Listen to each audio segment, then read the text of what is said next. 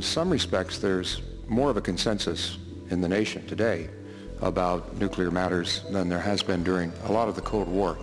I think the elements of consensus are, first of all, that Russia is not our enemy in any sense that we're used to thinking of. Second, that uh, we have to have a new strategy, uh, that the changes that have been made since the Cold War are not adequate, since the end of the Cold War are not adequate. Third, that this new strategy will involve dramatic reductions in uh, nuclear arsenals.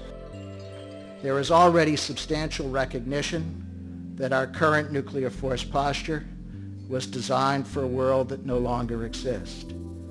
As we enter the second decade in the post-Cold War period, common sense should require the United States and Russia to make changes in how we operate our forces, to give each president more decision time, and to move our fingers farther from the nuclear trigger.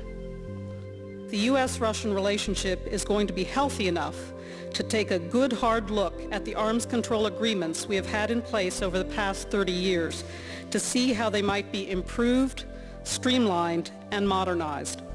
I believe the opportunity is there to produce a streamlined package that includes at least three elements. Accelerated deep reductions, enhanced monitoring and transparency, even for problem areas historically, such as sea-launched cruise missiles, and, yes, an adaptation of the ABM Treaty. I think it is made possible by the kind of relationship our two presidents have established in their summit meeting. We will see more of that in one month's time when they meet at the Genoa summit. But before we embark on this effort, uh, we have to know what we here in the United States want.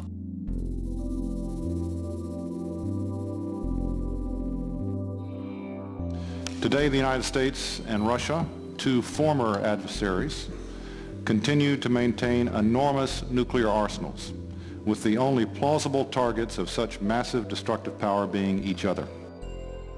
The President told us many times that Russia was not an enemy. The Secretary of Defense has echoed that, but also said the other day that when he went to sleep at night, he did not worry about a Russian first strike on the American strategic forces, and he doubted whether anyone did, that we lived in a world, both of them have suggested, in which we ought to think of the Russian nuclear force the way we think of the British and the French nuclear force, not as a potential enemy. Now, a nuclear planner confronted with those extraordinary statements and told to take them seriously would first of all, of course, realize that our current nuclear posture is exactly configured on the assumption that one should go to bed every night worried about a Russian surprise attack. It must be underscored that mutual assured destruction is neither a policy choice nor a doctrine nor an attitude, which President Bush called it the other day.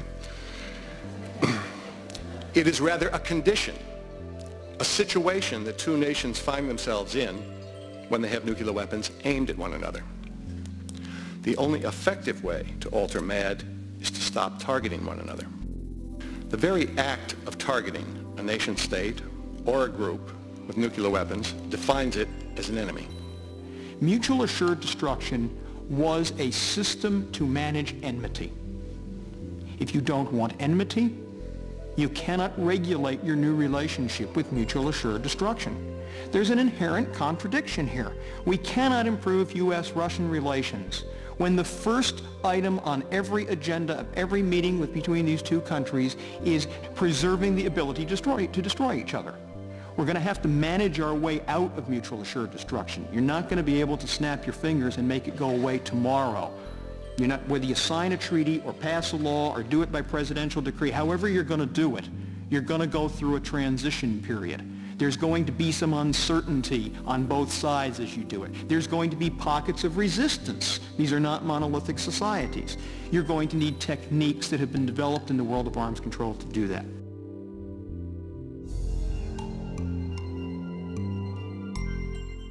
We should not be using nuclear threats to deter chemical and biological weapons use because it increases the likelihood that the United States will use nuclear weapons when we otherwise would not want to.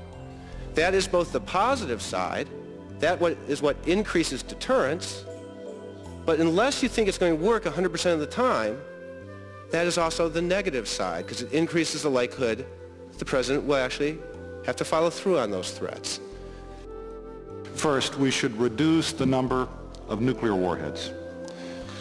Currently, the United States has over 7,000 long-range nuclear warheads, the Russians around 6,000. Russian President Putin has proposed that the U.S. and Russia each go down to 1,500 or fewer strategic warheads. There is little doubt that even at this level of capability, the nuclear forces of the two countries could produce a level of violence beyond human experience. We should go that low and lower. Second, we should take as many nuclear weapons as possible off high alert status. Third and finally, we should accelerate existing programs to prevent the diversion of Russian nuclear weapons, materials, and expertise. These are three steps that I think can and should be taken and would contribute to making this world, as the first President Bush said 10 years ago, a less dangerous place than ever before in the nuclear age. They would also make up for lost time, and I think we have lost time uh, in these past 10 years.